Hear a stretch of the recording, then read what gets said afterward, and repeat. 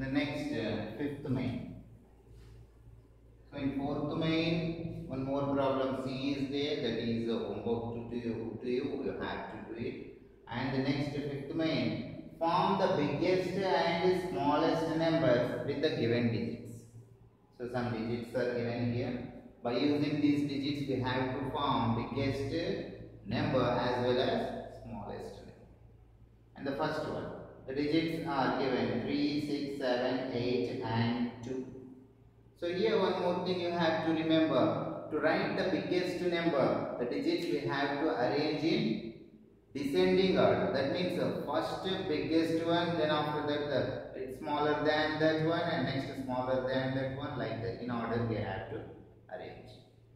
The next, coming to write, uh, coming uh, to write the smallest number, we have to arrange the digits in ascending order. That means the smaller one is the first, next bigger than that one, next bigger than that one, like that the process has to continue. And one more thing you have to remember, when writing the smallest number, 0 is one of digits in the given digits, then 0 we should not write the first, that means in highest. Why? Because 0 doesn't have any place value and face value. So that's why avoid that, skip that 0 and the next smallest one write down, then after that we have to write. Observe how it is. And first, 3, 6, 7, 8, 9. Among these all digits, the biggest one is 8. When writing the biggest one, we have to write the first bigger digit. Next, after 8, the next the bigger one is 7. Then after that 6. Then after that 3. Then after that 2. Once after before writing, just you count the digits. How many how many digits are given? 1, 2, 3, 4, 5. So all the digits are used up once count. 1, 2, 3, 4, 5. Yes.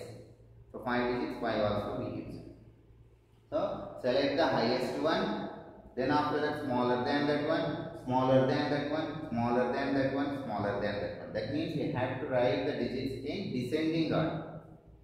And in writing the smallest one, reversely. First we have to write the smallest one. That means uh, in the given digits, the smallest one is 2. Next bigger than that one is 3. Bigger than that one is next uh, 6. Next bigger than that one 7. Next 8. So separate them by using commas in any system.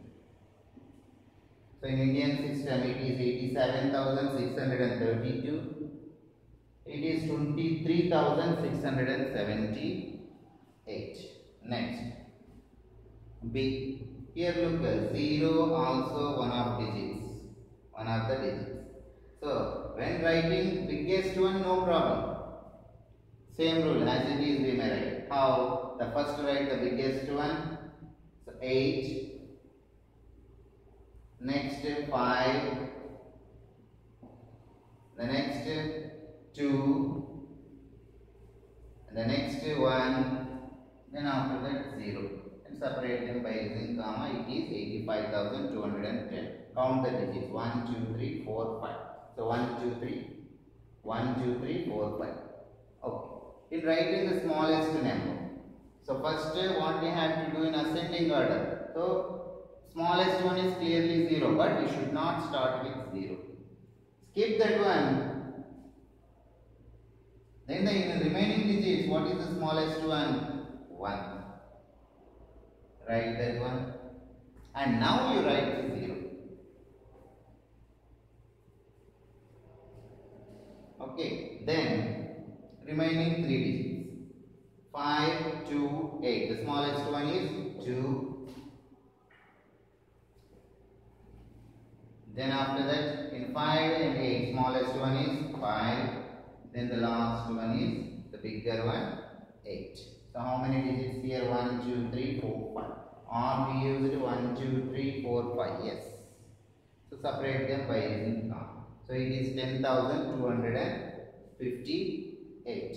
So one more C. 1, 2, 3, 4, 5. Here also 5 digits are given. 0 also is there. When writing descending order, no problem. First 9, then 8, then 6, then 2, then 0. So it is 98,620. In writing smallest number by using these digits, first skip 0. Then after that the smaller one is 2. Now write the next number as 0. So 0 and 2 we used. And remaining 6, 8, 9. The smallest one is 6. Next remaining 8 and 9. The smallest one is 8. Then the last one is 9. Separate them by using comma. Now it is 20,689. So next uh, D. 5D also is there. You have to do that one as homework. So this is end of uh, exercise 1.3. Next class we will learn about uh, notations and numerations of Indian and international system. So hope you understood today's class. Any doubts you may ask through WhatsApp. So have a good day.